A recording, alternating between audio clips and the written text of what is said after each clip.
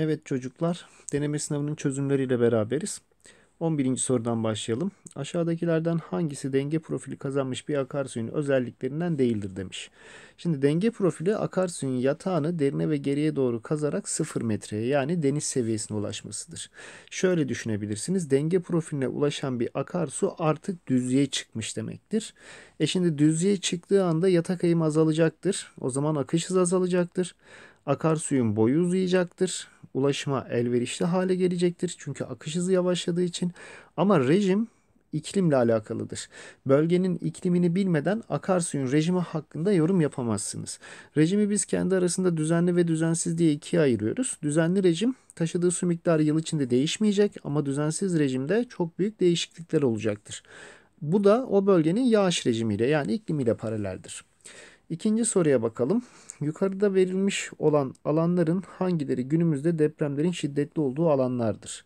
Şimdi dünyada iki tane büyük fay hattı var günümüzde. Birincisi ateş çemberi yani büyük okyanus dediğimiz yer. Burası Amerika'nın batı ve Asya'nın doğu kıyılarını kapsıyor. O zaman iki numarayı alabiliriz. İkincisi de Alp Himalaya fay hattını ifade ediyor. Akdeniz çevresindeki fay hattı. O zaman bir de 3 numarayı alabiliriz.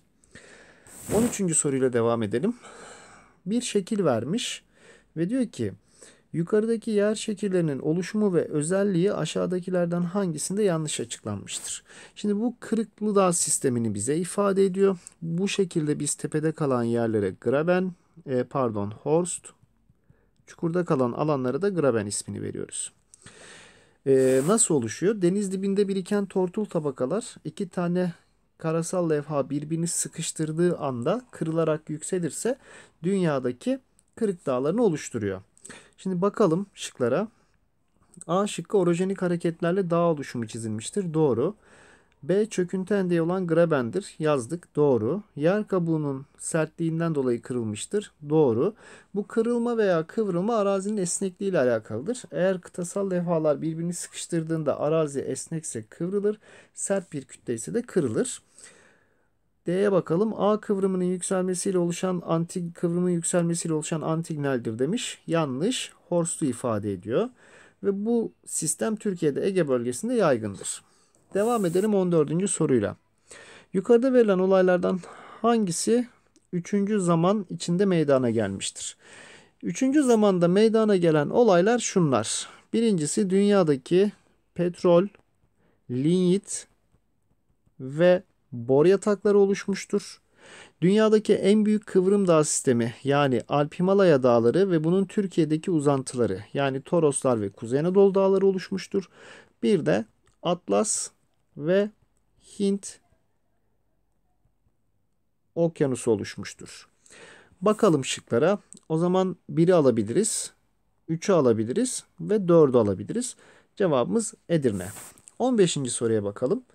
Yukarıdaki Türkiye haritasında işaretli olan alanların hangisinde deprem riskinin daha az olduğu söylenebilir. Türkiye'de 3 tane büyük fay hattı var biliyorsunuz. Bir tanesi Çanakkale'deki Saros Körfezi'nden başlayıp Van Gölü'ne kadar devam eden Kuzey Anadolu fay hattıdır. İkincisi Hatay'dan başlayıp gene Van Gölü'ne kadar devam eden Doğu Anadolu fay hattıdır ve üçüncüsü de Ege'yi kapsayan Batı Anadolu fay hattıdır. Fay hatlarını çizdiğimizde 5 numara dışarıda kalır. 16. soruya bakalım yukarıda bir yer şeklinin kesiti verilmiştir. Bu deminki soruda da karşımıza gelen kırık dağlarını bize ifade ediyor. Ve diyor ki soruda bu yer şekli aşağıdaki bölgelerimizin hangisinde yaygın olarak görülür? Bir önceki soruda da söyledim. Bu şekil Türkiye'de Ege bölgesinde yaygın olarak görülür. 17. soruya bakalım. Yukarıdaki taşların hangisinde fosiller rastlanmaktadır? Tortul kayaçlar özellikle de organik tortul kayaçlar içerisindeki fosil e, miktarı daha fazladır. O zaman burada organik tortul kayaçlara bakmamız lazım. Peki organik tortul kayaçlarımız neler? Mesela kömür olabilir, linyit olabilir, petrol olabilir, turbo olabilir diye gider. Şıklara bakalım. Taş kömürü mevcut.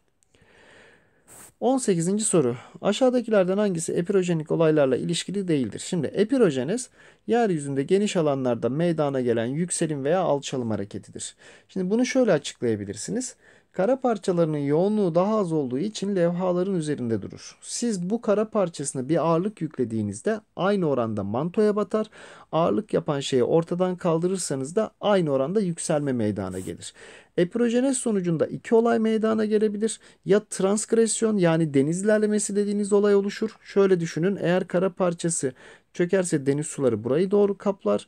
Ya da tam tersi regresyon deniz gerilemesi gerçekleşir. Eğer kara parçası yükselirse bu sefer deniz suları geriye doğru çekilir. Şimdi şıklara bakalım. Bu hareketler çok yavaş ve uzun sürelidir. Doğru. Çünkü bu bizim çıplak gözle ayırt edeceğimiz bir olay değildir. Oluşumu milyonlarca yılla ifade edilir. Geniş bölgeler yükselir veya alçalır. Bu da doğru.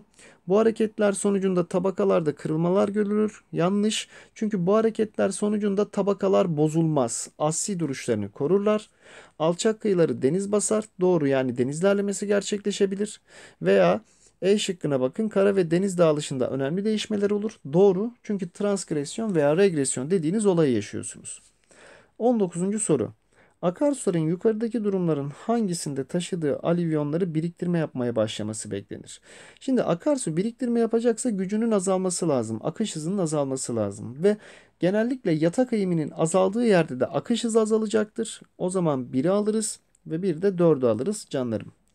Devam edelim. 20. soruda bir akarsu kesiti vermiş. Şimdi bakın bu kesitle ilgili hangisine ulaşılamaz diyor.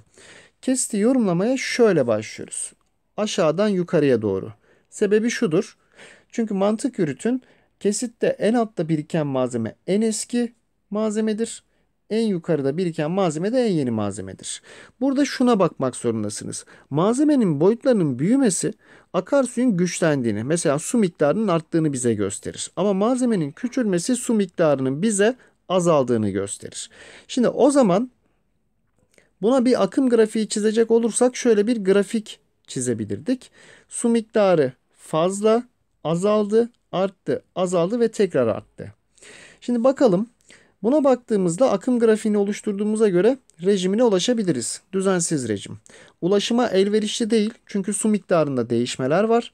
Akımda dalgalanmalar var yani su miktarında dalgalanmalar var. Ulaştık. Havzanın genişliği ve materyalin iriliği. İşte materyalin iriliğini burada belirtmiş ama havzanın genişliğine bu şekilde ulaşmanız mümkün değil. Çünkü tek bir kesitte biriken malzemeyi bize veriyor.